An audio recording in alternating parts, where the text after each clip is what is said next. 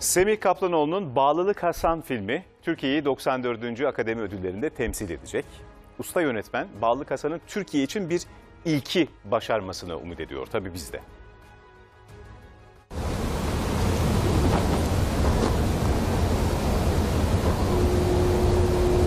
Bu sefer Türkiye bu konuda bir ilki başaracaktır diye e, umuyorum. Önce Cannes Film Festivali, şimdi de Akademi Ödülleri. Bu süreci çok profesyonel bir ekiple uluslararası çalışarak hazırlıyoruz. Bağlılık Hasan Çanakkale'den Amerika'ya uzanıyor. Ödüllü film Türkiye'yi Oscar'da temsil edecek. İlk 15 şey kalabilirsek ikinci çalışma süreci çok daha zorlu geçecek. Çünkü 15'ten 5'e inme konusundaki rekabet çok daha güçlü olacak. Semih Kaplanoğlu yaptığı işlerle adından söz ettirmekle kalmayıp ayakta alkışlanan bir yönetmen ve senarist aynı zamanda.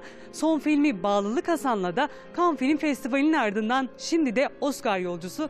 Hocam filmi ilk kaleme aldığınızda Oscar yolcusu olabileceğini düşünüyor muydunuz? İlk e, yazmaya başladığımız zaman ya da çekerken, çekimi bittikten sonra filmin kaderinin nasıl ilerleyeceğini hiçbir zaman bilemeyiz. Zaten işin zevkli yanlarından birisi de budur. Semih Kaplanoğlu'nun hem yazdığı hem de yönettiği film Bağlılık Üçlemesi'nin ikinci halkası olan Hasan'ın hikayesini anlatıyor.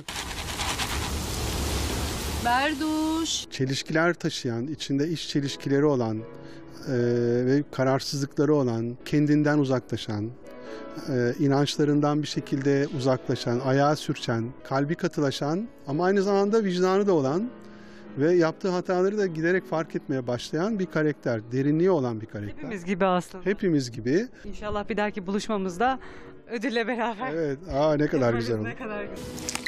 Berduş.